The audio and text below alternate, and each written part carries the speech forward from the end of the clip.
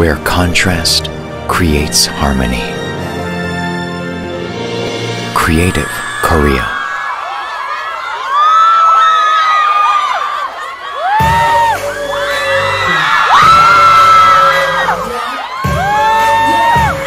Yeah, it's interesting. It's really nice. Yes. Really fun.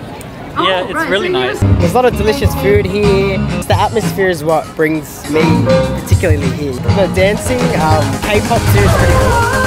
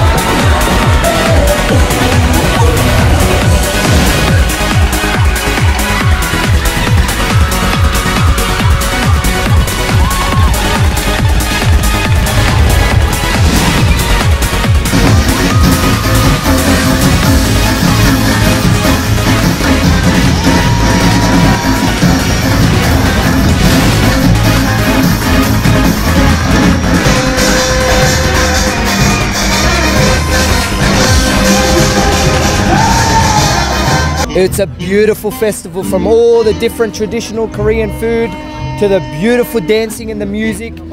I've loved it. The last two days have been beautiful. I feel like I'm Korean myself.